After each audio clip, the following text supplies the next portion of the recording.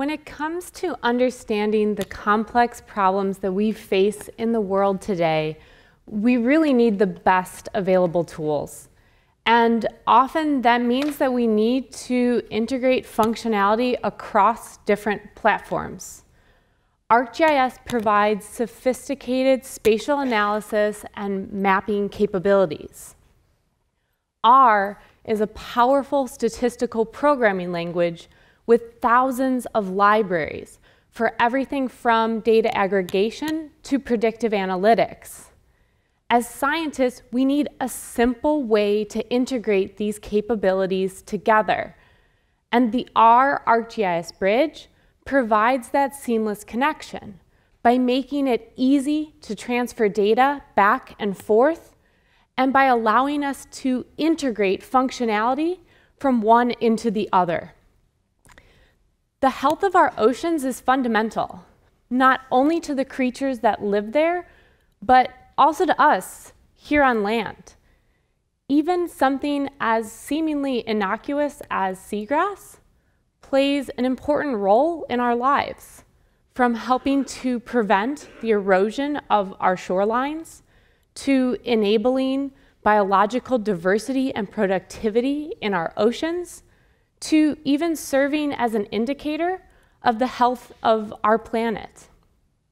So to efficiently locate areas around the coast of Florida where seagrass has a high probability of being found, I'm going to be taking advantage of the Ecological Marine Unit dataset.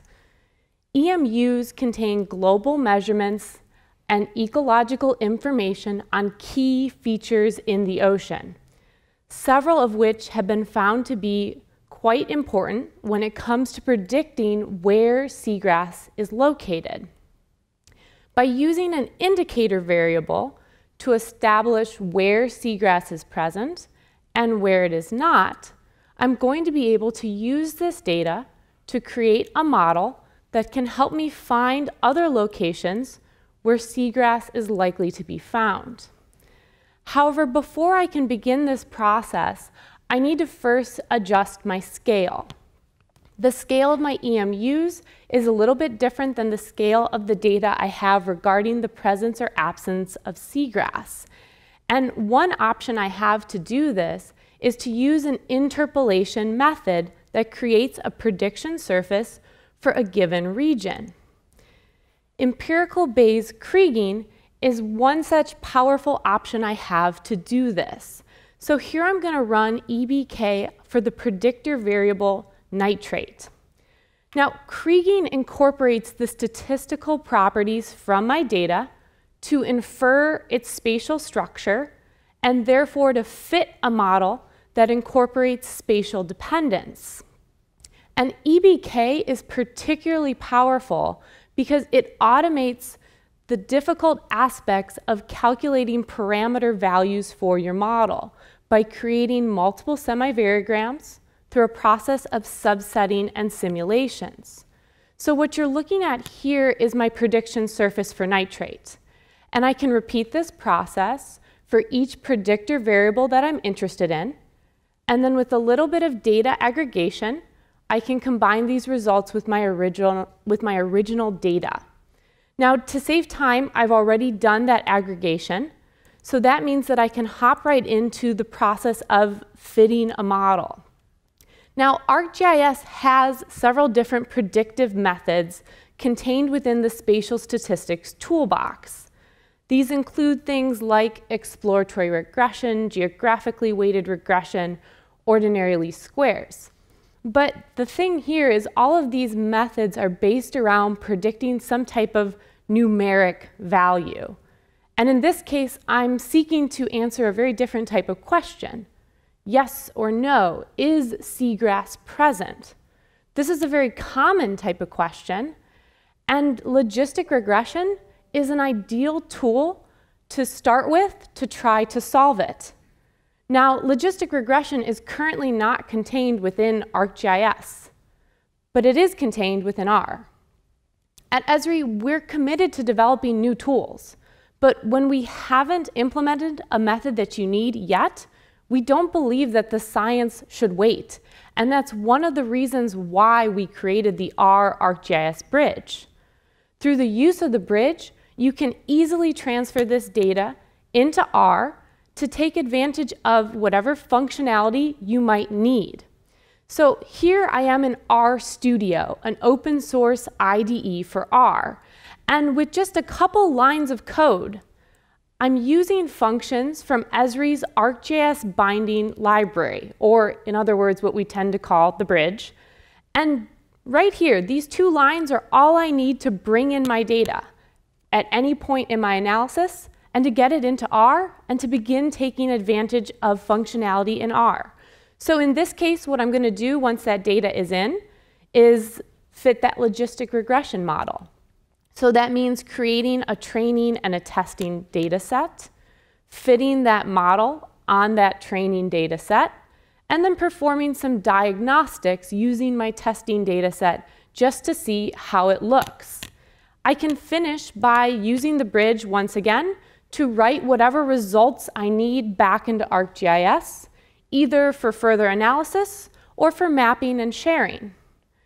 But this is honestly really just a tiny fraction of the power of the bridge, because the bridge can do so much more than just simply read and write. I can actually take all of this code and seamlessly integrate it into ArcGIS in a script tool.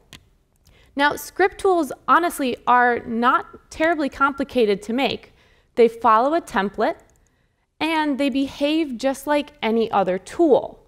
So what you're looking at is a tool that performs logistic regression. It's a script tool I've created. And in terms of appearance and behavior in ArcGIS, it's no different than any other tool you might create.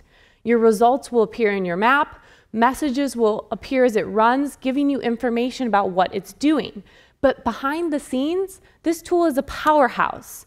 So a user is going to start by simply selecting their input data, specifying the percentage that they want put in a training or testing set, and then selecting the formula that that logistic regression model is going to be fit on. So that means specifying a dependent variable, as many predictor variables as they'd like. When they click Run, this tool is going to use the bridge, transfer that data into R, and go through each line of code that you just saw in that script. And once it's done, the results are going to be in your map. You can dynamically work with them. But again, this is just one cool part of creating a script tool. This customization, the way it integrates with the platform, it's all great, but the real power is here. So here is a model that I've created. Now, this model is really what I think the bridge is all about because I am linking R and ArcGIS. I've taken my logistic regression script tool and I've pulled it into here. And this logistic regression tool is returning to me predictions. It's probabilities. It's giving me probabilities how likely it is seagrass is present in a given location. I'm taking those probabilities and I'm passing them to the ArcGIS tool kernel interpolation with barriers. Why? When I fit a logistic regression model, I can perform diagnostics to see how it fit, but I want to understand it, right? We want to know if that model is valid, is it good, is it actually going to predict for us what we want? And for me personally, visualizing is so key. And this kernel interpolation with barriers tool is going to create a prediction surface of my logistic regression results that I can see in my map that I can actually explore. So I'm going to run this model. Enough talk. Let's actually see how this looks in practice. And you can see some of the things that I've been talking about here. As this model is running, it's actually, like I said, seamlessly integrated with R. So here is a chart from R. It's my ROC curve communicating to me on how my model fit is looking. You can see in my messages window some of what I was talking about. I'm printing out diagnostics from R, such as the summary of how my model fits, various goodness of fit tests, and really the awesome part about all of this, look at this time here. We have under a second. This model has taken my data, it's passed it into R, it's done a training and testing set, it's fit a logistic regression model, it's provided all these diagnostics, it's passed it to the kernel interpolation with barriers tool, and really the part that I think hits it home for me is when I now go to my map, I have something I can explore. I have the results of my model. And because I'm in ArcGIS, I can apply a real world imagery base map. And if I want to investigate and say, okay, model, how did you do? I can go to an area that has a higher probability of having seagrass located, and I can actually check. Did it? Did it work? It did. And so this really allows me to have this very dynamic, seamless, efficient process. The R ArcGIS Bridge allows you to integrate advanced analytics in a way that works in such an easy fashion. And the best part is, this is something you can pass to anybody in your organization. Even somebody that might not fully grasp the R language, this is something that you can share, this model, this tool, and this can drive your science forward by allowing you to easily communicate your results. So the R ArcGIS Bridge is truly a powerhouse driving your workflows further. And now, with the end of my demonstration, I think we've definitely been in the wet long enough. So it's time to dry out a little bit and move from the oceans to the atmosphere. The ocean and the atmosphere are coupled. And it's very important that we understand both.